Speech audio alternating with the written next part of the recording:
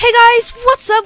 Welcome back to another video. Today we are going to be playing basically a carbon copy of Red Dead Redemption 2 in Ravenfield. I have put together a collection of like five or so mods that turn the Ravenfield experience into a very, very fun experience that is basically Red Dead Redemption 2. Anyways, as you may have noticed, we are playing with very old guns and also kind of weird ones. Like what's what is this gun? It like to chamber a new round you spin this drum magazine, but it's not really a drum magazine because I, I don't know what it's supposed to be. Oh, here's a good time where I can showcase the Deadeye ability because if you do play Red Dead Redemption, you would know that Deadeye is a thing in this game, which is basically just aimbot. I really have no other way to explain it. And, oh, the second I spawn in, I just get completely killed. That's not fair, is it? What? I spawned in the exact same place again. No, get me out of here, please. Get me out of here now. The one disadvantage with guns like this is that their fire rate is awful. I think I'm safe in this house for now. I see a guy in the window there. Is that a teammate? Yeah, that's a teammate. Okay. Did I just walk through a wall? Is that with every single house? No, I can't walk through the wall in this house. That's weird. Okay, so in today's video, I am going to be checking out three different maps, including this one. So this one is, I'd say, a medium range map. It's not incredibly long range, but it's also not really that close range, I'd say. So you can still benefit from running a long range rifle like I am right now. Anyways, the second map we're checking out is a lot more long range. And finally, the third map is one that honestly, it looks really incredible. So I'd recommend for you guys to stick around to the end of the video because basically we're going to be participating in a train battle where we have to fight over entire trains while they are moving. It's really, it's a cool map. Oh, do I hear music? I hope I'm allowed to play that kind of music on YouTube videos because I think I hear music. It's coming from the saloon. Oh, this is an enemy flag. I sure hope they don't spawn in here right now. Oh, they're coming to get me. Alright, well, good thing I have slow motion. Not just Deadeye, I also have slow motion. Do you guys hear that? I'll let you guys listen.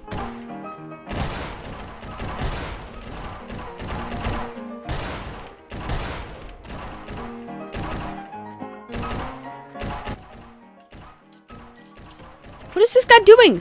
Why are you just standing there and not shooting me? Anyways, I don't think I can listen to the music much longer without being killed by these enemies.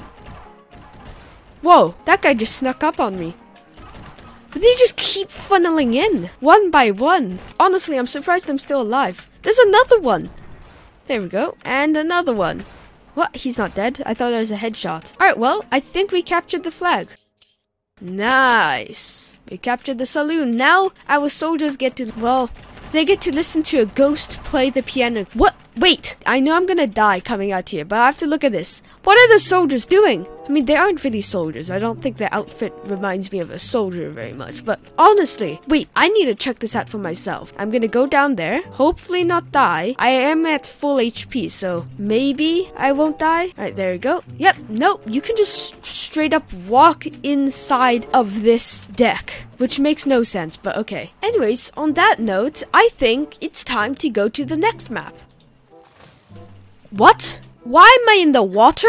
This isn't how ground works. Okay. Uh, can I can I get up onto the surface? Why did the bots get to get up, but I don't? As you may have noticed, this is the second map, but it may be a map that doesn't actually work. No, no, no, no. I'm stuck. I'm I'm honestly stuck swimming on the ground. It doesn't make sense. I know. But it seems like my friends here are swimming as well. But I also what? no.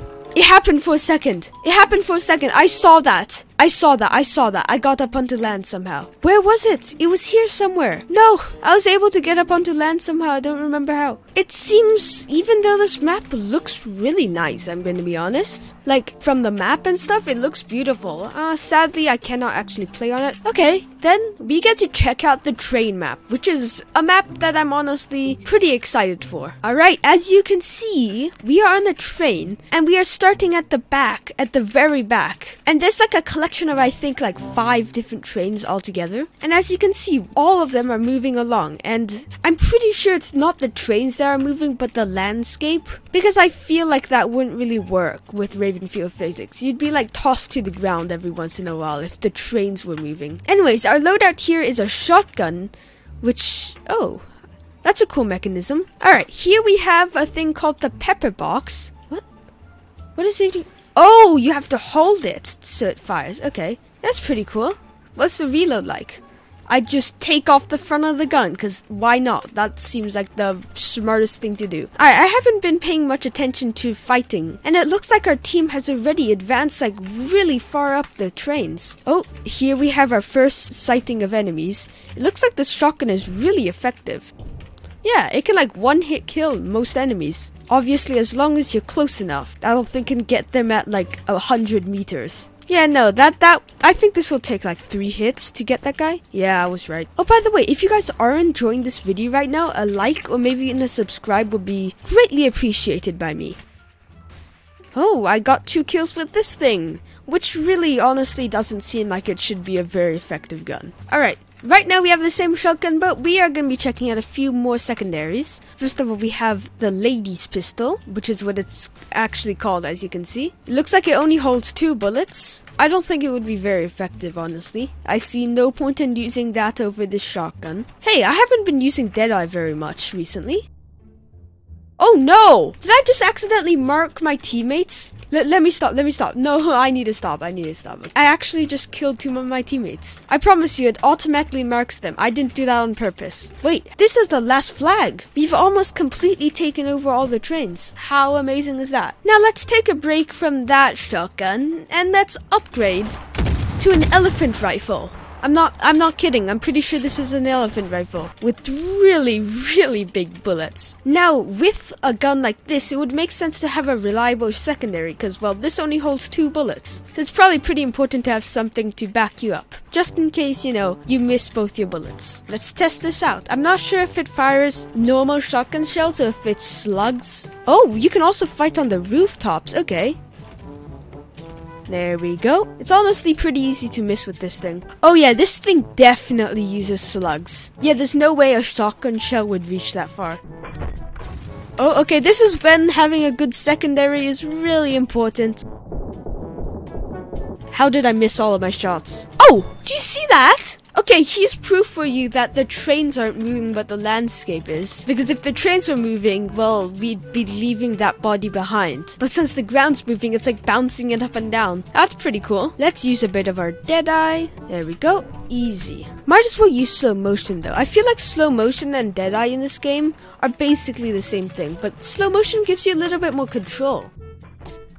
There we go. You know, if this thing had more bullets in it, it would honestly be so overpowered. It's just the fact that it only has two shells that makes it slightly less powerful. It still is a force to be reckoned with, though. Oh, we've we're down to our final two slugs. But now that we've run out of bullets, I think it's time to switch to a new weapon. I think I've only got one left in the mod pack. Oh, yes, I do, but this, I don't think this is a very fitting gun to be using on this map. I was going to use this gun on the map, the second map, you know, the one that's supposed to be longer range, but we ended up falling through the ground.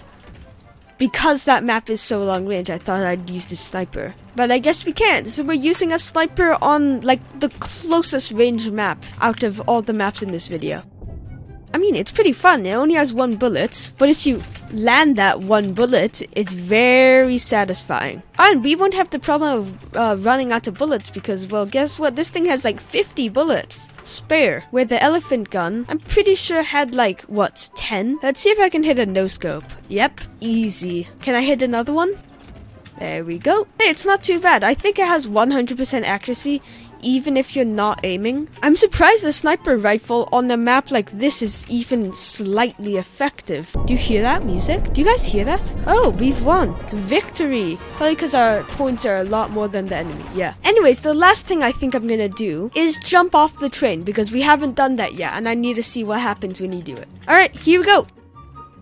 Yeah, that's about what I expected. You die and then your body does a really bouncy and weird ragdoll. Anyways, I'm gonna end this video here. If you guys enjoyed it, be sure to leave a like and subscribe. And I'll see you guys later. Bye!